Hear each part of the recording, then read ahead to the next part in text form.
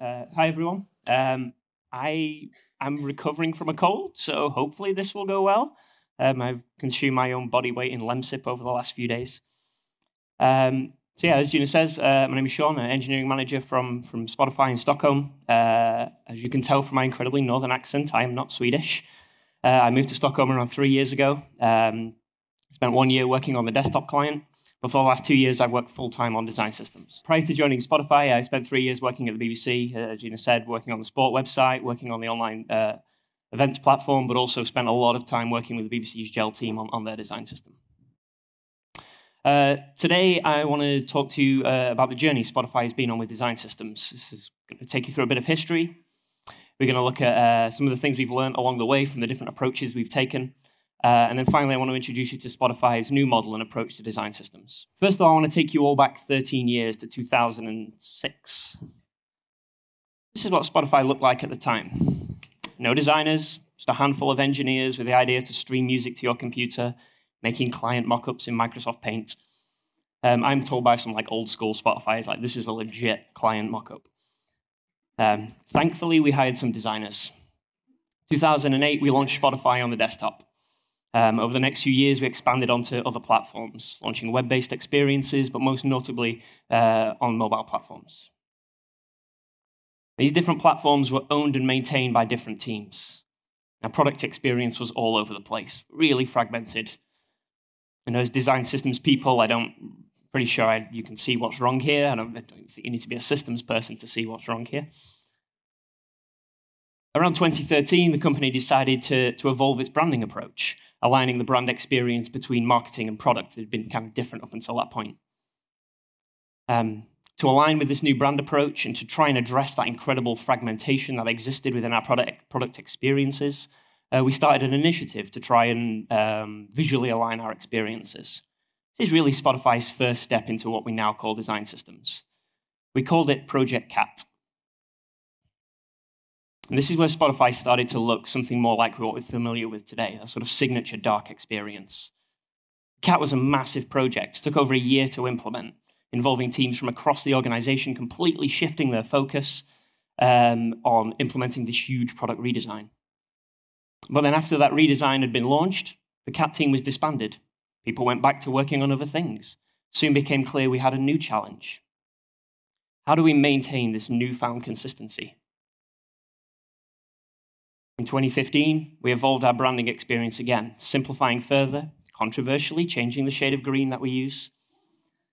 Um, but this fresh, new, streamlined branding approach needed to be reflected within our client experiences. But the Project Cat team had been disbanded. Everyone had gone away working on other things. So we started thinking, how can we implement large, cross-cutting visual changes in a more sustainable way? That led to the creation of Spotify's first design language system, Glue or global language for a unified experience. Some of you may have, may have heard of this one. Um, an important thing to note here about glue is that the term glue, it, it referred to both the design system and the single centralized team that worked on it, as well as documenting um, styles and patterns and components. Um, the team also tried to implement a number of redesigns, firstly incorporating that newer brand approach with, with a new shade of green, and then onto a full visual refresh of our products. And this is where we started to see some problems. Through the team's success, they grew to a pretty uh, respectable size, you know, well past the sort of six to 12 people you typically find in a team at Spotify. Our team grew to being nearly 30 people, with plans to grow further. Glue did a really fantastic job at bringing more consistency, modern ways of working to our mobile applications and a classic desktop experience. But despite the substantial size of this team, it didn't really cover a whole lot more ground. Never truly achieved that goal of being the global Spotify wide design system. We also found two other major challenges with the approach that we were taking with Glue. Now, we can't do a presentation about Spotify without talking about the Spotify model. Um, now, of course, this approach it is evolved and it's changed over the years to keep up with the company's scale and pace. But one thing that's remained core to the way we work is the autonomous squad. Small, cross disciplinary group set up around a defined mission, empowered uh, to make their own decisions on how to get there. Having a single team responsible for UI is great if you're aiming for overall consistency, and many companies find that that works great for them. But for us, it essentially just became a big bottleneck. Not great if you're a, you're a company that's putting a particular focus on speed and moving quickly. If you're a team with, let's, uh, tasked with, let's say, I don't know, uh, increasing consumption on podcasts, and you want to run an experiment, now all of a sudden you're blocked behind this one team that owns all of the UI. And we saw teams, they started to work around Glue. They created their own UI components so they could move forward and they could experiment. The second major challenge we faced was that the company changed direction, and the Glue approach was not scalable nor suited to, to this new direction. The company really, the company really shifted direction in two dimensions. Um, the first one is ubiquity. We want Spotify to be everywhere. And Spotify is not a website, a destination you visit, or, or just a piece of software that runs on your, on your computer or your phone. Spotify has become part of people's lives, a constant presence, giving you access to the stuff you want to listen to whenever. And whilst the importance of the individual application is, is diminished in this um, ubiquitous scenario, you still need them. You need a lot of them. For us, that means 45 in house experiences, ranging from our multiple mobile applications, classic desktop experience, multiple in browser experiences, at home on your TV, in your car, on your watch, and, and yes, on your fridge. Like, this is a genuine, real thing. Um, and that's not counting the 300 plus partner built integrations that we also support. Think Spotify on your Sonos system, the tens of thousands of third party integrations. The glue approach of centralizing the ownership of the UI layer for a given platform was never going to scale across 45 platforms. We were already coming up to being 30 people and we could just about support three. The second directional change the company made was focused around audiences. For the last sort of 10 years, Spotify focused almost exclusively on the consumer music sort of listening experience. Now the company wanted to start creating experiences for artists, podcasters, labels, advertisers. This resulted in a whole new category of product the design system needed to support a new visual style, new types of data to represent, entirely new experience. The single centralized team was not going to work. The glue had become unstuck. The decision was made to close down Glue, stop investing in this approach that was not compatible with the way the company works or optimize for the direction uh, the company was heading. But it wasn't that straightforward. Glue, the team, was disbanded, the members distributed around the organization. Glue, the system, remained. It was still used within the mobile clients and uh, in the desktop application, but now it had no dedicated owner. This move essentially took us from a place of, of extreme centralization to one of extreme decentralization, like overnight. What about that 45 platforms? Like, we still need to solve for that. When the full magnitude of the, of the problem dawned on Spotify, we set up a team to solve it. That team is my team, DLS. Uh, we were tasked with, with finding a way to scale our visual language across our huge product landscape. Now, there's no way that we, all of these platforms could share the same tech smartwatch, speaker, TV, desktop app. It's too different. Thankfully, some clever folks had an idea that might just work for us design tokens.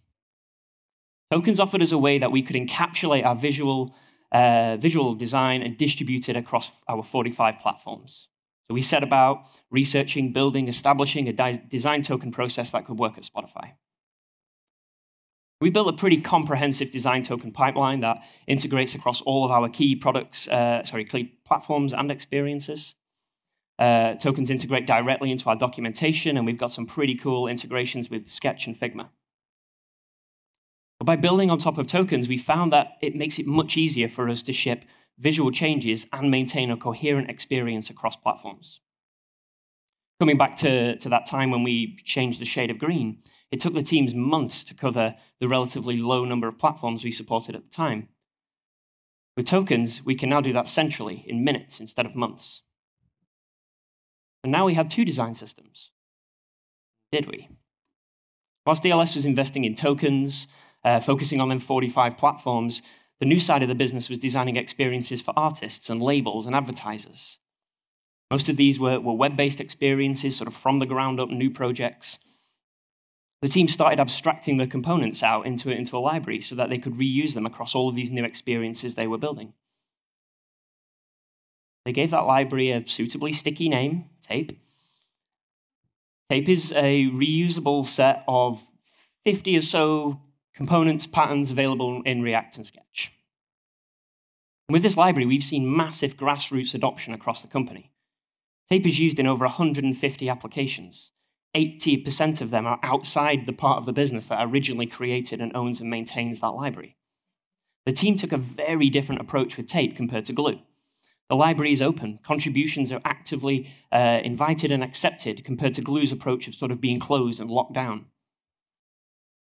This resulted in the sort of growth of a, uh, of a fantastic community around this library, uh, a community that's led by a few dedicated designers and engineers, but where everybody's invited to, to contribute and help improve the library. And we've then seen that these uh, contributors, they then go on to become advocates for the library, and it further grows the consumer, uh, the, sorry, the customer base. And as a result of this, this community, this sort of internal open source approach that we've been taking, uh, it's organically become the de facto web UI library at Spotify. Like tokens, tape shows that design systems can work at Spotify, providing you're focused, uh, providing you're solving a specific focused problem, uh, and you're doing so in a way that aligns with the way the company works. This gives us three design systems. So Spotify is now living in this decentralized design system world. We saw the idea of teams solving design systems problems locally became more and more common. So earlier this year, we thought, ah, I know it's a fun exercise. Let's try and find all the design systems that exist at Spotify. We counted 22. We still keep finding more. Somebody keeps dropping one behind the back of the sofa. These are systems of varying quality, maturity, states of maintenance. A lot of great work has gone into these systems so much useful information, patterns, components, but they're all independent. Nothing tying them together. Nothing except sticky adhesive metaphors in their naming. So now we've tried both extremes in, in how you can manage a design system. We've tried the, the extreme centralization with glue, one team owning everything, calling all the shots, acting like the design system police. And we've tried extreme decentralization, teams creating their own systems, solving their own problems locally. We started thinking about this problem. How can we make it better? And there's a Swedish word, lagom. It means just the right amount. What's the right balance between centralized and decentralized for Spotify? When you look at the, the problem space we're trying to solve for, 45 platforms, 22 systems like that we know of, two, around 200 designers, 2,000 engineers. But crucially, all of this complexity, it's all just Spotify in the eyes of the end user. One brand, one service, one marketplace we needed to unify our design systems. Could we take what we'd learned about what does and doesn't work for design systems at Spotify? Could we iterate and build on what we had? And Gina, she talks about design systems being for people. And whilst we obviously care deeply about the end user, we consider our users to be the, um, uh, sorry, our customers to be the designers, the engineers, the writers, the products folks that, that, that build Spotify. Our 22 design systems, they formed around local needs. But for new starters, and many, maybe even like many old hands, it's baffling. We, when we spoke to our internal customers, we heard loud and clear that philosophical answers to where are all the design resources? What button should I use here? They just weren't cutting it. They wanted single, short answers, no excuses.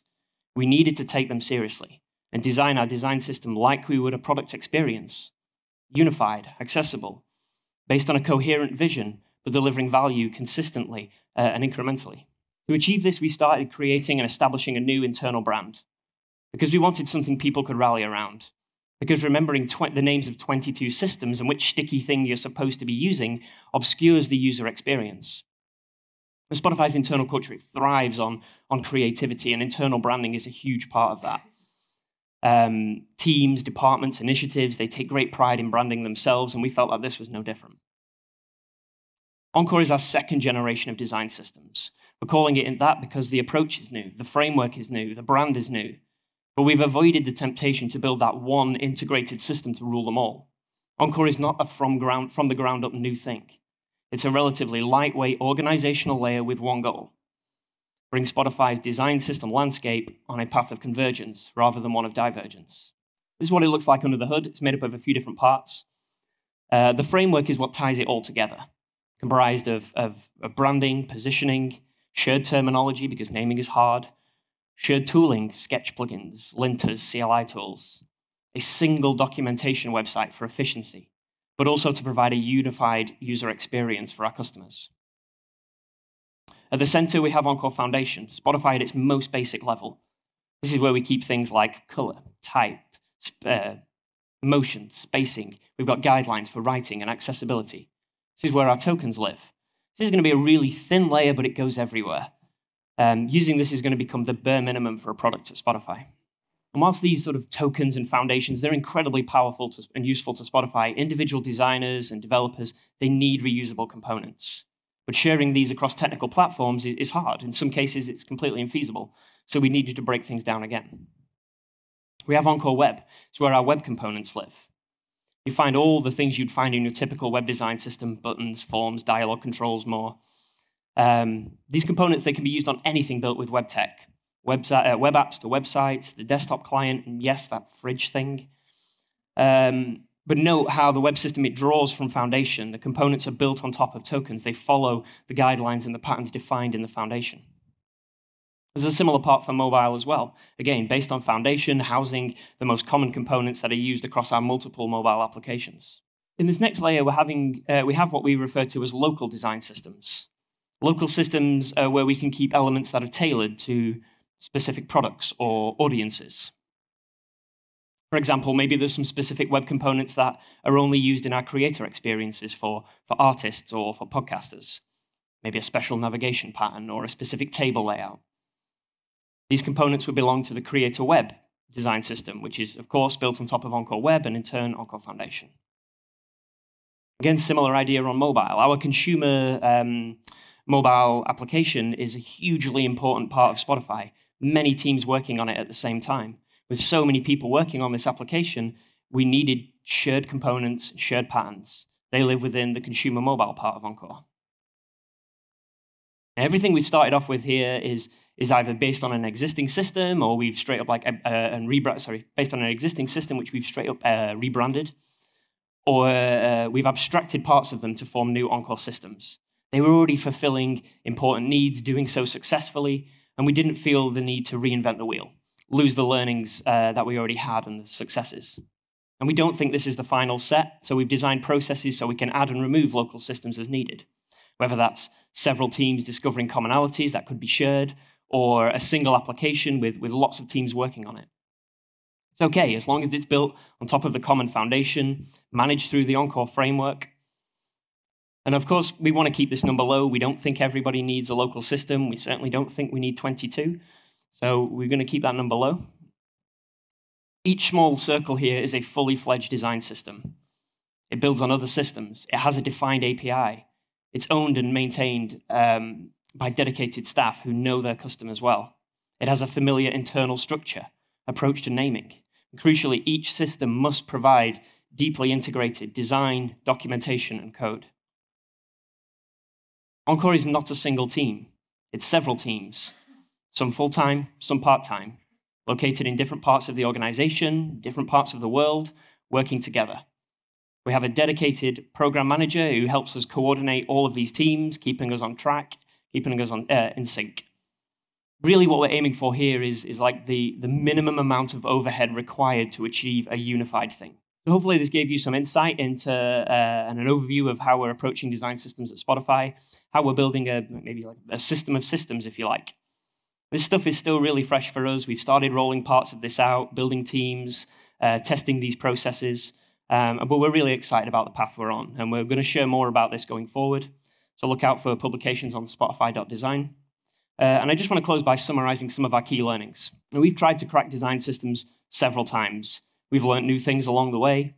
Design systems take time. And if the first attempt doesn't stick, then keep trying. This is worth doing. This stuff is important.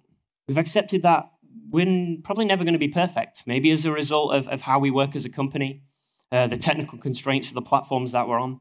But we've accepted, and we've accepted that we can't enforce consistency on 45 platforms, but it needs to be and it can be coherent, and we're cool with that. The final and biggest learning for us is the importance of understanding your company's culture. No two companies are the same. Um, you know, we might have some things in common, but, but wholesale copying and pasting an approach is, is, is never going to work uh, you know, building a successful design system is about much more than, than just uh, components and tokens. If the system goes against the grain of your company, you're going to get unstuck. The system needs to embrace your company's culture, characteristics, and peculiarities. For us, this means we had to acknowledge that the huge product landscape that we live in and the way that our teams work. Rather than having a single centralized team like Glue, it's much better for Spotify to have a family of design systems taken care of by many teams. Tack.